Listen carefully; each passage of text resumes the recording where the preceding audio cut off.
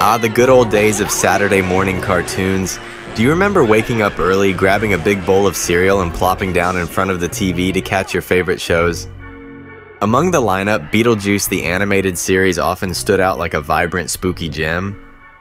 What was it about Beetlejuice that captured our imaginations as kids? Was it his wild, unruly hair and that iconic striped suit? Or maybe it was Lydia with her gothic attire and unwavering friendship with a ghostly troublemaker? Do you recall the quirky, surreal landscapes of the Neitherworld, where anything seemed possible and the ordinary was always turned on its head? For me, watching Beetlejuice was an adventure into a realm where the macabre and the whimsical danced together in perfect harmony. I used to be mesmerized by the imaginative settings and the way each episode felt like a mini Tim Burton masterpiece. The show's eerie yet playful music, composed by the brilliant Danny Elfman, still rings in my ears as a nostalgic symphony of childhood. It's incredible how a cartoon about a mischievous ghost and his human friend could be so endearing and unforgettable. So let's further explore the animated series adaptation of Beetlejuice.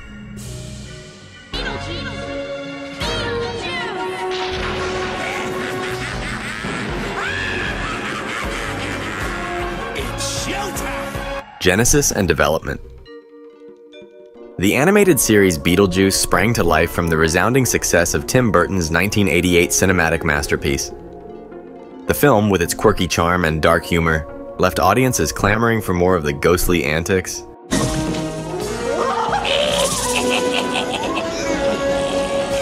We come for your daughter, Chuck. Recognizing this, the creative minds behind the original film decided to transpose the eccentric universe into an animated format, catering to a younger demographic while retaining the essence that made the movie a hit. Premiering on ABC in 1989, the series was a testament to the enduring appeal of its characters and the imaginative world they inhabited. Tim Burton, the visionary director, played an instrumental role in shaping the series, ensuring it echoed the whimsical, gothic undertones of the movie. It's as if he took the spectral essence of the film, infused it with animated brilliance, and conjured a show that could enthrall both children and adults alike. Plot and setting. The animated series carved its own niche by emphasizing the unique friendship between Beetlejuice and Lydia Deetz. Envision having a spectral companion who thrives on mischief and revels in the grotesque. What a recipe for perpetual adventures. The storyline oscillates between the mundane human world and the fantastical Neitherworld, a surreal realm replete with outlandish creatures and bizarre locales. How'd you get in? How do you like that? 65 episodes and I never knew I had a back door. Picture the Neitherworld as a place where the extraordinary is the norm, and the ordinary is a foreign concept.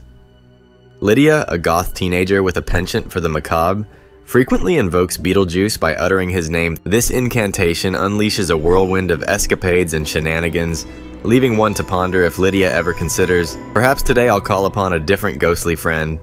Then again, Beetlejuice is undeniably more entertaining. A notable divergence from the film is the portrayal of the relationship between Beetlejuice and Lydia. In the animated series, Beetlejuice transitions from being a malevolent specter to a lovable anti hero with a knack for getting into trouble. He's akin to that one friend who's perpetually causing mischief, but somehow always manages to charm their way out of it. Also, I've always found it both awkward and endearing that in the cartoon, Beetlejuice affectionately referred to Lydia as Babes. It struck me as a bit odd, but it never felt romantic. They were just the best of friends, sharing a love for wild adventure. Another quirky tidbit from the show is that Beetlejuice occasionally goes by the nickname BJ. You can't help but think that someone behind the scenes knew exactly what they were doing with that one, a cheeky little nod for the adults watching along. But yes, in the animated series, Beetlejuice sometimes goes by BJ, adding another layer of humor to the mix.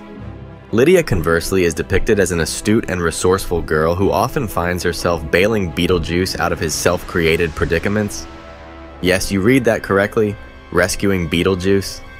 This dynamic infuses the series with a lighter, more comedic tone, making it particularly appealing to a younger audience. You'd be free as a bat! As cool as the abominable! It's reminiscent of a supernatural version of The Odd Couple, with Lydia playing the sensible role and Beetlejuice embodying chaos incarnate. Their escapades not only provide endless amusement, but also impart valuable lessons about friendship, bravery, and occasionally, How to handle a prank that involves transforming your school principal into a giant poultry. The Animated Legacy. The Beetlejuice animated series was a delightful extension of the film, capturing its spirit while forging a distinctive and engaging narrative. It was a realm where the afterlife was far from boring, and the living had their share of supernatural excitement, all wrapped in that unmistakable Tim Burton flair. The series not only brought joy and laughter, but also expanded the Beetlejuice lore, giving fans a deeper dive into the eccentricities of the netherworld and the peculiar friendship between a goth girl and her ghostly best friend. Voice acting, infusing characters with life and spirit. The magnetic appeal of Beetlejuice the animated series is largely thanks to its exceptional voice acting, which breathed life into its colorful cast of characters. Stephen Ouimette, the voice behind Beetlejuice, injected the character with a frenetic energy and mischievous spirit that was both captivating and infectious. His portrayal of the anarchic specter was an auditory roller coaster, perfectly capturing Beetlejuice's zany unpredictability and relentless trickery. Imagine trying to match Beetlejuice's rapid-fire jests and ceaseless antics. Ouimette made it sound delightfully effortless. It was almost as if he had a direct hotline to the Netherworld channeling Beetlejuice's essence with uncanny authenticity. Meanwhile, Alyson Court voiced Lydia Deetz, bringing a blend of depth and relatability to the character. Her performance resonated strongly with audiences, particularly those who saw a reflection of their own eccentricities in Lydia's goth persona. Court's voice work added nuance to Lydia, transforming her from merely Beetlejuice's sidekick into a fully realized character with her own strengths and vulnerabilities. Together, Ouimette and Court's dynamic interactions created a vibrant chemistry, making the supernatural and mortal realms seamlessly coexist. They were akin to a supernatural version of Abbott and Costello, if Abbott was a macabre-loving teenager and Costello was a mischievous ghost. New characters and world building, enriching the Netherworld. One of the series' most enchanting aspects was its introduction of a plethora of new characters, each more whimsical than the last. These additions expanded the Netherworld into a lively, bustling universe teeming with peculiarities and charm. Take for example Jacques Lalande, a French skeleton bodybuilder who, despite his lack of flesh, remained obsessed with maintaining his physique. Am a skeleton. His exaggerated French worse off can I accent and dedication to fitness were both humorous and endearing. Who would have thought that even in the afterlife one could be a fitness fanatic? It's as if the creators pondered, what's missing from this ghostly realm? Ah yes, a French accented muscle loving skeleton. Another delightful character was Ginger, a tap dancing spider whose nimble legs and rhythmic moves added a whimsical flair to the series. The sight of a spider clad in tap shoes and performing intricate dance routines was both absurd and delightful, showcasing the show's knack for blending the bizarre with the comical. These characters, along with many others, enriched the show's narrative tapestry, transforming the Netherworld into a fantastical playground where the extraordinary was the norm. The creative team's boundless imagination resulted in a world where even the most outlandish concepts felt perfectly at home. The art and animation style. A distinctive visual journey. The animation style of Beetlejuice the Animated Series was a distinctive visual experience, mirroring Tim Burton's unique aesthetic. The character designs were exaggerated and surreal, capturing the essence of Burton's gothic whimsy. Characters with their peculiar proportions and expressive features stood out in a world of more conventional cartoons from that era. Each frame was a testament to the animator's creativity and artistry, successfully bringing an element of the bizarre into every scene. The bold use of colors and imaginative settings further amplified the show's visual allure. The Netherworld, with its twisted landscapes and whimsical architecture, was a realm where the extraordinary was routine. The show's ability to blend the eerie with the whimsical created a visually mesmerizing experience that kept viewers enthralled. It was as though the animators had taken a glimpse into Tim Burton's sketchpad and animated his doodles, crafting a world that was both enchanting and slightly unsettling. Furthermore, Beetlejuice the animated series was a masterpiece of voice acting, character development, and visual creativity.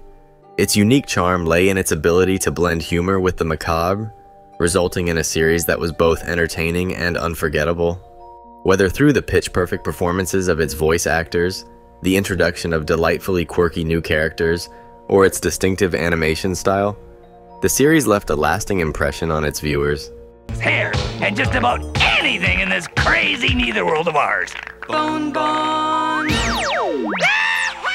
The cultural impact and reception, from goth vibes to Saturday morning staples. When Beetlejuice the animated series hit the airwaves, it made an immediate splash, resonating with a broad spectrum of viewers. Critics and audiences alike praised it for its ingenuity, humor, and sheer originality.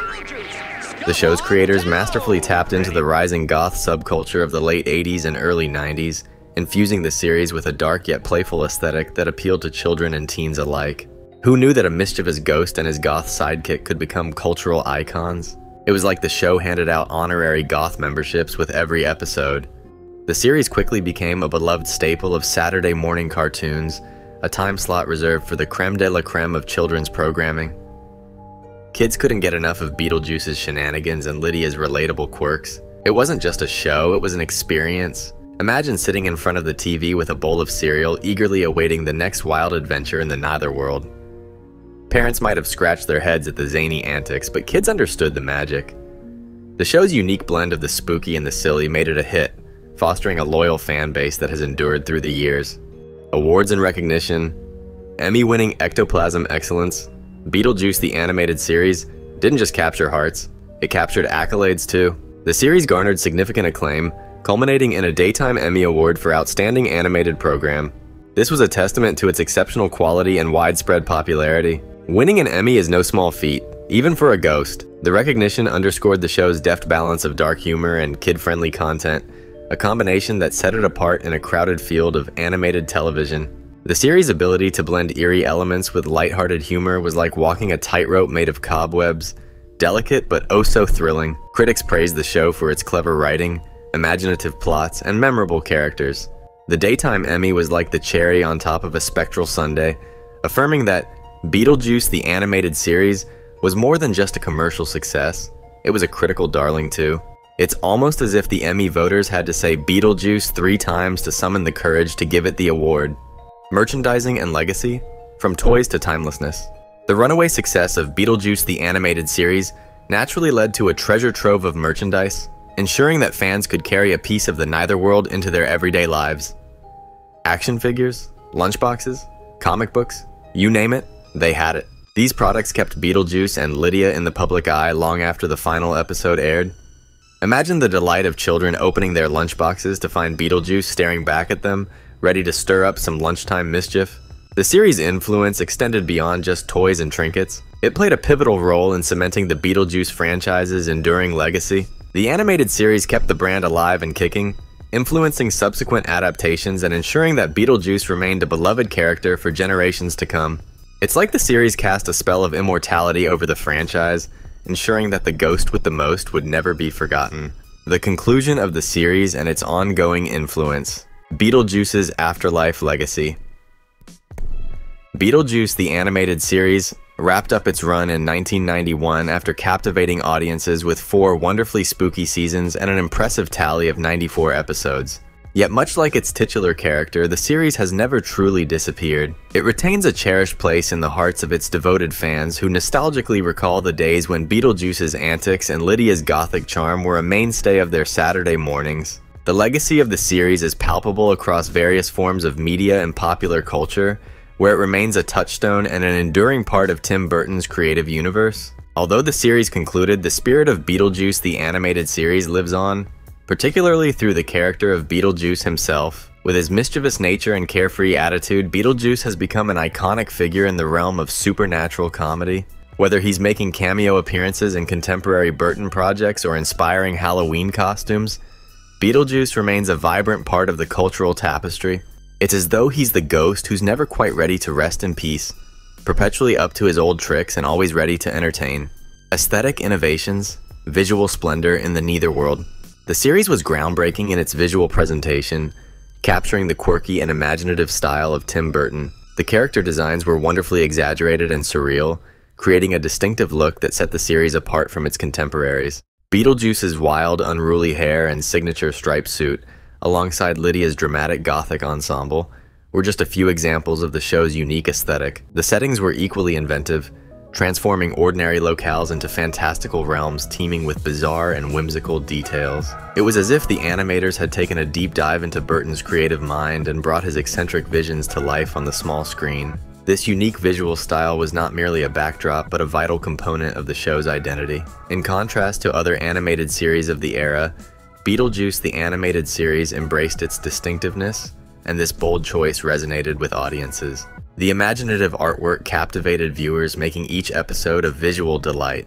Watching the series felt like stepping into a Tim Burton dreamscape, endlessly fascinating and delightfully peculiar. The show's innovative art style played a crucial role in its long lasting appeal, ensuring that it remains a standout in the annals of animated television. Music and sound design, the sonic magic of the Neitherworld. Another key element that contributed to the series' charm was its music and sound design. The show featured a memorable soundtrack that perfectly captured its whimsical and eerie atmosphere. The music, composed by the talented Danny Elfman, who also scored the original Beetlejuice film, added an enchanting layer to the series. Elfman's compositions were a delightful blend of the macabre and the whimsical, enhancing the show's unique tone and making each episode feel like a gothic carnival. The sound effects were equally essential in crafting the show's distinctive ambiance. From Beetlejuice's infectious cackles to the quirky sounds of the Neitherworld, every auditory element was meticulously designed to enhance the viewing experience. The sound designers seemed to wield their own kind of magic, creating an auditory landscape that was as engaging as the visuals. The combination of Elfman's captivating score and the meticulous sound effects made the series an immersive journey into the fantastical world of Beetlejuice. Conclusion The everlasting charm of Beetlejuice the animated series. For me, Beetlejuice was always more than just a show, it was an experience. As a kid, I was enchanted by the bizarre and whimsical Neitherworld, a place where the strange and spooky felt oddly comforting. The show's quirky humor and imaginative plots were a delightful escape from the mundane. I remember being captivated by the eerie yet enchanting music, the quirky characters, and the way every episode felt like stepping into a Tim Burton dreamscape. It wasn't just about the gags and ghostly pranks, it was about a world where creativity knew no bounds. So, what about you? What's your most vivid memory of Beetlejuice? Was it the catchy theme song? the outlandish adventures, or perhaps a specific episode that left a lasting impression? I'd love to hear your stories and favorite moments. If you're as nostalgic as I am or curious to rediscover the magic, let's keep the conversation going. And hey, if you're enjoying these trips down memory lane, don't forget to subscribe to The Cabin. Together we can keep the spirit of these beloved classics alive and buzzing, just like Beetlejuice himself. Say it three times, and let's dive back in and get ready for Beetlejuice 2.